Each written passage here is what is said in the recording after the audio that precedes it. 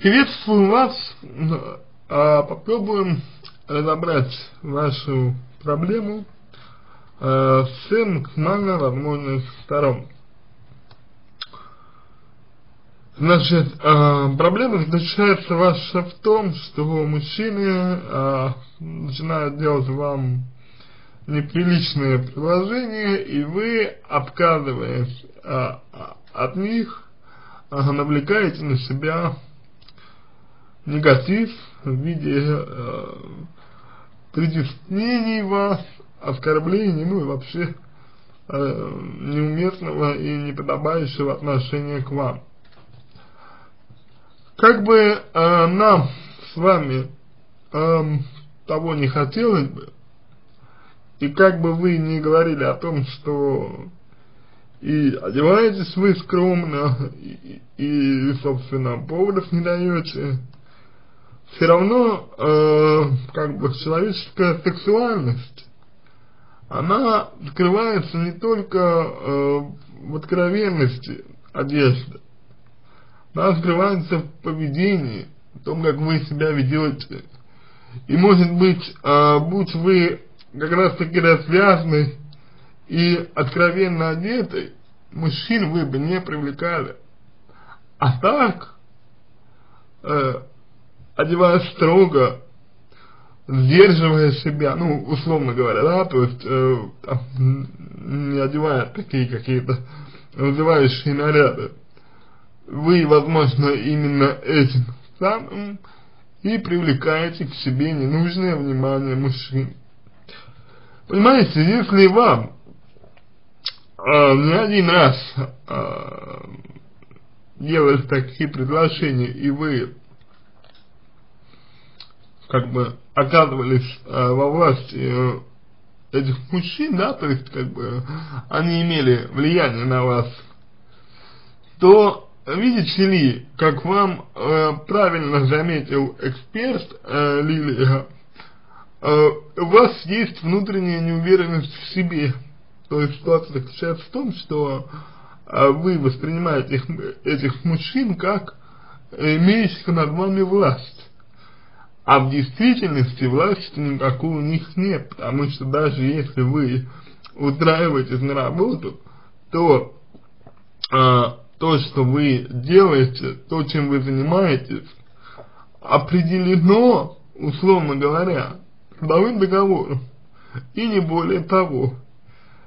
И если вы придерживаетесь этого самого трудового договора, и тех обя э, ну, прав, обязанностей, которые в этом трудовом договоре прописаны, то проблем э, как бы с сближением нет, потому что ему неоткуда взяться, если мужчина откровенно не озабоченный и не маньяк.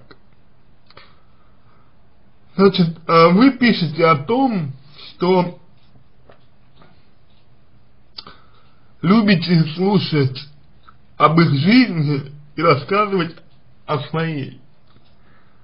Знаете, э, я понимаю вас, э, понимаю, что вы любите это делать, но многие мужчины, особенно мужчины одинокие, да и не только одинокие мужчины, э, подобное поведение воспринимают как приглашение к более интимным, более близким отношениям.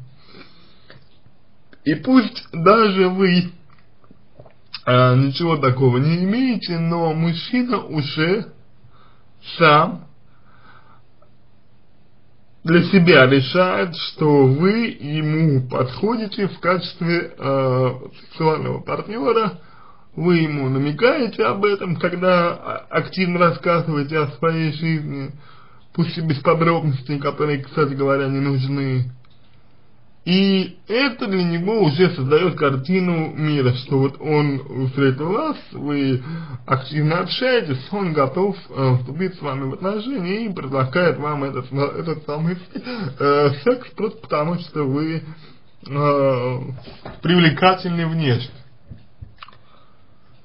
Э, в этой ситуации надо бы вам вот все э, случаи, когда э,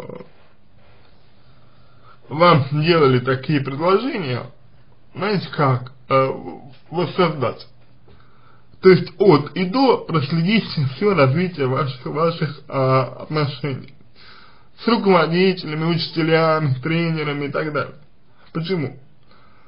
Потому что если вы выполняете только те э, действия, совершаете только те поступки, которые э, являются вашим, вашими прямыми правами и обязанностями, то как бы у мужчины нет возможности, у мужчины нет шансов на то, чтобы даже э, вообразить себе, что с вами может быть э, что-то большее, да, чем профессиональные отношения. Но когда вы говорите, измените, нет, мне это не нужно, это уже конечная стадия. То есть мужчина уже думает, что вы, э, ну, готовы. И вопрос заключается в том, почему он так думает. То есть я бы здесь вам э, порекомендовал бы, вот потому что вам написала эксперт Лидия, она очень хорошо вам ответила, э, я бы порекомендовал бы вам э, оглядываться на логику мужчин. А мужчина, мужская логика, она достаточно простая. Если привлекательная женщина активно общается с мужчиной, этот мужчина либо одинок, либо не очень э, дорожит своей, своей женщиной, то он это совершенно спокойно может воспринять за предложение свободных, отно, э, свободных отношений. И он так себе это все накрутит, что сам в это поверит. А потом, когда выясняется, что это не так, то такую женщину называют динамщицей, да, и вообще начинают оскорблять, потому что она для мужчины становится символом ошибки. То есть вам нужно с этими людьми, которые, э, как вы говорите, э, влияют на вас, про это мы еще скажем, э, общаться исключительно в деловом ключе. То есть, если, например, слушаете об их жизни, потому что они говорят то не говорите сами о себе. Да, я понимаю, что это не очень приятно. Да, я понимаю, что это может быть не то, чего бы вы хотели, но э, именно в этом контексте, в контексте того, что вы, возможно, вступаете в чересчур тесный контакт э, с мужчинами, ну, э, это нужно исправлять. Это нужно корректировать. С начальниками, с теми, кто обладает властью, э, всегда немножко сложно общаться, потому что эти люди осознают, что от них э, зависят другие и могут этим пользоваться совершенно спокойно. И вам важно понять, а, что единственное, что вы можете в этой ситуации сделать, это а, не давать им повода вообще никакого. То есть а, никаки, никакой возможности как-то вот а, вас а, спровоцировать, какой возможности как-то ну увидеть в ваших э, словах э, хоть какой-нибудь э, подтекст. Дальше. Теперь по поводу того, что э, вы зависимы от этих людей. Знаете, в узком э, смысле этого слова зависимость э, от человека – ну, по крайней мере, в том, что э, вы э, написали, да, зависимость, такая зависимость, она ну, по большому счету, я бы сказал, наверное, мнимая зависимость. Почему? А, дело в том, что вот зависимым можно быть от, ну, я не знаю, от своих родителей, от молодого человека. А, зависимым можно быть от кого угодно, но там, где нет а, коммерческих отношений. А там, где коммерция есть, то есть есть четкий договор, где есть э, условия оплаты, где есть э, какие-то наши договоренности, да? Я надеюсь, вы понимаете, о чем идет речь. Там никакой зависимости нет. Потому что человек сам по себе получает то, что он, ну, как бы изначально э, заслуживает. Он получает изначально то, что ему положено. Зависимость проявляется только тогда, когда еще раз, когда э, отношения вступают в какой-то, э, ну, более, более неформальный э, этап, что ли. То есть, когда э, вы позволяете общаться себе с людьми уже не как, э, вот, ну, например, если говорить про учителя, про тренера, да, то это, соответственно, тренер-ученик, да, э, тренер-учитель. Если говорить про работодателя, то это, э, соответственно, работодатель-сотрудник. То есть, а, когда вы переходите вот, этот, вот эту вот грань э, неформальных отношений, вот в этот момент возникает зависимость. Если изначально придерживаться рамок договора, рамок того, за что каждый из вас э, что-то ну, что-то делает, да, на, на что-то имеет там право и так далее, то никакой зависимости нет. Простите, вы не э, в кабале от людей, и э, я не думаю, что вот, э, вы правы, когда говорите про э, ну, про такие вот, такие вот моменты, да, что зависимость и так далее. То есть, а, непонятно откуда и как эта зависимость вами эм, воспринимается. Собственно э, говоря, а дальше, то есть вот об этом мы сказали. Вы, скорее всего, э, не совсем э, правильно понимаете вот эту самую, э, эту самую связь. Дальше. Ваше положение, о котором вам э, сказал мой коллега. То есть положение это э, то, что вы не в отношениях, не замужем, и вообще говоря, вы одна. Э, мне не хочется вас расстраивать, не хочется как-то говорить вам какие-то вещи, которые были бы вам неприятны, а это будет неприятно, знаю. А, но, пожалуй, я должен это сделать. Видите ли, а момент здесь такой, что тот факт, что у вас нет отношений, тот факт, что у вас нет мужчины, а, вы ни с кем не встречаетесь, то есть вы одинокая, то есть понятно, что вы не одинока. Одиночество здесь, это и не только здесь, это всегда вынужденное состояние.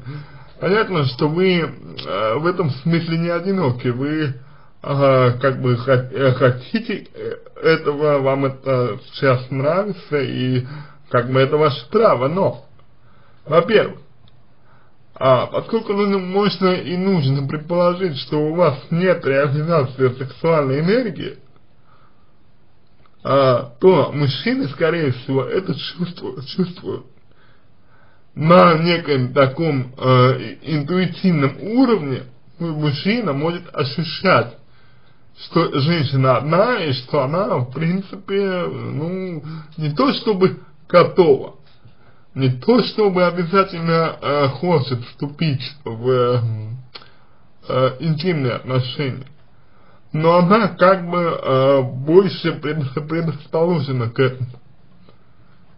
И это мужчину привлекает на уровне э, физиологии, на уровне вот, э, знаете как, э, феромонов, на уровне, если угодно, э, животных инстинк инстинктов. И тогда вопрос к вам. А, почему вы без отношений в данный момент? А, если бы вы говорили сразу, вот если бы вы сразу а, позиционировали бы себя как а, женщину, у которой есть молодой человек, которая встречается с молодым человеком, да, у которых есть отношения, то не было бы у мужчин вообще никакого даже шанса, а, чтобы вам делать какие-то непристойные предложения. Но одинокая женщина, вот именно одинокая в смысле без мужчины, она э, достаточно, ну, знаете как, достаточно только чувствуется более-менее опытным руководителем на уровне э, вот там определенных примет. И вам стоит подумать, почему вы, э, ну вот, без э, мужчины до сих пор. То есть, э, может быть, вас что-то удерживает от этого, вам что-то не дает вступить в отношения а, с мужчиной, что-то вам мешает или как-то еще. То есть этот момент, момент, когда вы, а, по сути, отрицаете то, э, на что имеет э, право каждый человек, по сути своей, этот момент является, ну, не то чтобы а, прямо уж проблемным, но этот момент является как минимум достойным внимания. Потому что вполне вероятно, что вы испытываете потребность в том, чтобы быть э, любимой и чтобы любить. Вполне возможно, что вы испытываете потребность э, в интимных отношениях. У вас есть это желание, как у любой абсолютно нормальной, э, здоровой женщины, но вы это желание в себе подавляете, и если вы его подавляете, то э, для этого есть причины, для этого должны быть причины, и с этими причинами э, надо обязательно разобраться, потому что вполне, вполне возможно, что именно они, эти причины, а, привлекают к вам мужчин. И таким образом, а, если немножечко а, подытожить все то, что я сказал, то вам важно работать над уверенностью в себе, над более правильным, адекватным пониманием того, как образуется зависимость от людей. Быть может, вам э, стоит э, более или менее ограничить себя в, довер в доверительном общении э, с людьми, которые имеют над вами власть, потому что вы, по сути, провоцируете этих людей. Вы как бы э, соблазняете этих людей, потому что тот, у кого есть власть, всегда оказывается перед соблазном, да, э, значит, там, воспользоваться э, своими привилегиями. И поскольку человек слаб, то он, естественно, идет на поводу этих соблазнов. Тем более, если перед ним, а, ну, как бы, привлекательная женщина, которая, ко всему прочему, еще и а, одна, то, то есть без мужчины. Ну, вам э, можно, если угодно, э, если вы от, прям очень сильно хотите э, общаться, да, и вам интересно, если вы не готовы э, поступаться этим, то вы можете говорить всем, что у вас мужчина есть, что у вас есть парень, изначально сразу позиционировать себя так, чтобы люди, э, которые хотели бы или могли э, иметь на вас э, какие-то виды, э, сразу отпадали бы и не питали каких-то надежд по отношению к вам. То есть вот а такие, в принципе, можно назвать моменты. Как я уже сказал, э, для вас принципиально важным является э, понимание того, вот знаете, э, по какому сценарию идет развитие отношений э, с мужчинами. То есть как у вас это происходит? А как происходит так, что в какой-то момент они, мужчины, а, делают вам непристойное предложение? Уверен, э, я об этом говорил, но э, могу повторить, уверен, э, все, все э, случаи, которые были, они являются э, типовыми. Если можно понять, где вы допускаете ошибку, а где вы ведете себя неправильно, то можно э, будет э, не допускать случаев э, ненужного сближения, может быть лучшего, э, может быть улучшить ваше э, понимание мужчин. В принципе, я думаю, что э, именно так можно ответить вам на вопрос. Э, думаю, что много уже так получилось. Э, давайте мы подведем итог небольшой и скажем так. Обратите внимание на то, как вы общаетесь со своими э, ну, начальниками, да, со своими э, более старшими коллегами и так далее. Вполне возможно, что вы э, не замечаете того, когда они относятся к вам, начинают относиться к вам по-другому. Обратите внимание на э, позиционирование себя. То есть, почему вы обязательно считаете, э, что вы зависимы. А, вас никто не записывал в рабы, и а, нужно вести себя как субъект, а, как социальный субъект, социальный субъект а, в данном случае трудовых отношений, которым вы и являетесь, кстати говоря. Это ваша а, нормальная социальная роль. Ну и, наконец, обратите внимание в, э, в направлении а, своей личной жизни, стоит подум подумать, почему у вас ее нет, а, стоит подумать, чем обусловлен тот факт, что вы а, одна, что у вас нет мужчины, и вполне возможно, а, что подавляя в себе потребность а, в нем, вы тем самым э, неосознанно субли, сублимируете ее, э, то есть вот это вот, вот это свое желание, э, на тех мужчин, с которыми вы находитесь э, в, отнош в отношениях трудовых рабочих. Причем замечу, что вы можете делать это неосознанно, а значит вы не отдаете себе отчет в том, что вы именно это делаете.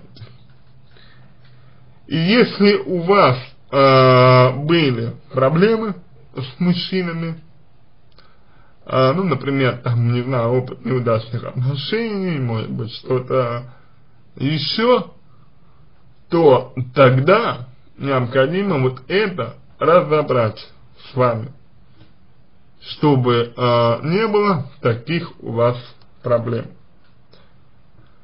Ну что ж, э, в принципе, на этом, я думаю, можно э, закончить. Э, надеюсь, что вам я помог. Я постарался максимально э, расписать вашу проблему, я постарался максимально э, полно ее описать. И надеюсь, что вы э, извлечете выводы из э, того, что я вам сказал. Потому что, э, вообще-то говоря, э, вам вы можете совершенно спокойно э, своими силами э, эту проблему решить. То есть вам даже не нужно будет э, с психологом там консультироваться и про прочее. Все это э, достаточно, э, ну, возможно, это возможно э, сделать э, своими собственными силами. Главное, чтобы у вас э, было для этого желание, чтобы вы вот в этих направлениях подумали сами для себя и э, что-то решили. На этом, я думаю, можно закончить. А, итак, уже, в принципе, очень много а, всего а, я здесь сказал. Я надеюсь, что а, помог вам. Если дополнительные вопросы какие-то у вас остались, а, буду рад помочь. А, пишите в личку. Если мой ответ вам понравился, буду благодарен, если сделаете его лучшим. Желаю вам всего доброго и удачи.